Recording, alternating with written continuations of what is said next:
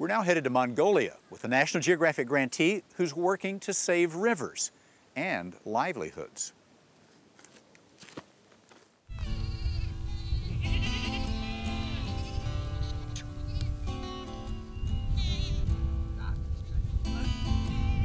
For generations, Mongolian herders have traversed this vast and pristine countryside, known as the land of the blue sky.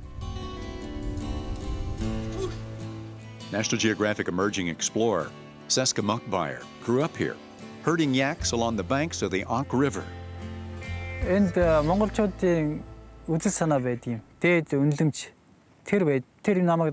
Mongolians say we are the children of Father Sky and Mother Earth. I believe this completely. There is nothing more precious than our environment.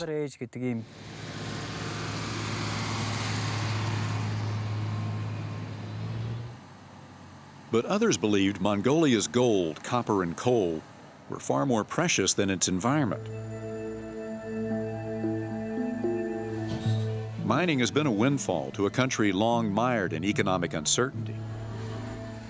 But extracting and processing gold uses up a lot of water and creates extremely toxic waste. The Ankh River used to supply water to 60,000 people and 1 million head of livestock. But a decade ago, due in large part to gold mining, it ran dry. Tens of thousands of people who depended on the river were forced to move elsewhere. Ten years ago, if I'd been standing right here, the water level would have been above my head. Munkhbayar's family and neighbors dug wells to reach the water, but the groundwater was so contaminated the dozens of local children suffered serious liver damage.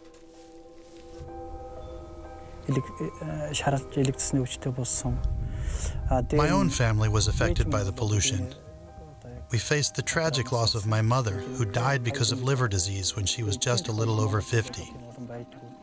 My son was one of the 30 or 40 children who also became ill, and I had this cancer removed from my chin.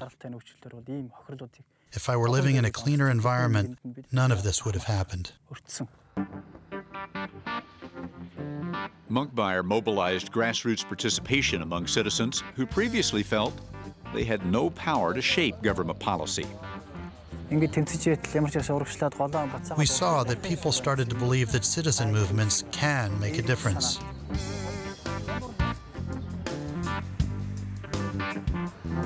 When Munkhbayar started his movement, there were 37 active mines along the Ankh River.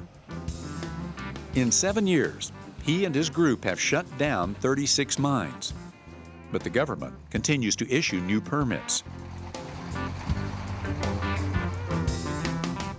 Word of his efforts has spread around the world. A group of American, Russian, and Mongolian environmentalists traverses the countryside for a first-hand look at the impact of the gold mining. Among them, National Geographic emerging explorer Zeb Hogan. Why was it important to you to have everyone come together and, and see the situation in Mongolia? Mongolians say instead of hearing something a thousand times, it's better to see it just once. Hogan studies giant freshwater fish, which are fast disappearing. He's worried that the gold mining here is destroying the habitat of the endangered giant Eurasian trout known as the taimen. The taimen used to occur in Russia, China, and Mongolia, but because of activities like placer gold mining, taimen have disappeared from much of their original range. And so now the same thing that has happened in many parts of Russia is happening here in Mongolia. Gold mining threatening the largest trout species in the world. Munkhbayar and others in the movement work with herder families who depend on the river to sustain themselves and their livestock.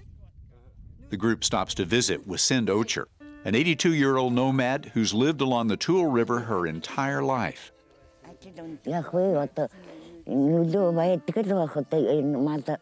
Mining has impacted our lands a lot. I cry seeing how my land has changed. One time I was on top of the mountain with my grandchild, and she asked me, Why are you crying, Grandma? And I said, I cry seeing my land. My land is turned into a wounded deer.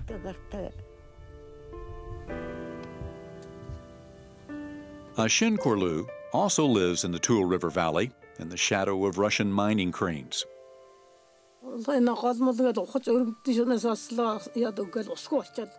Because of the mining operations, the rivers dried up, and we drink water from a puddle, water residue.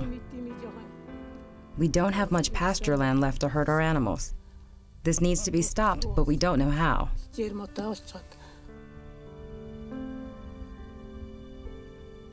So let's get back to the cars and let's go.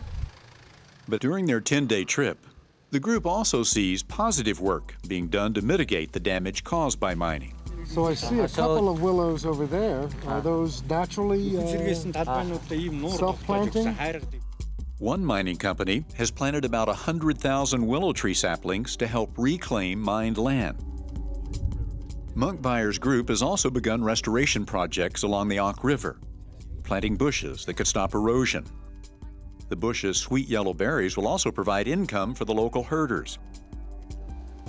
Although more companies are getting licenses to operate along Mongolia's rivers, Munkhbayar is still optimistic that with international assistance, his group and others like it can stop destructive mining practices.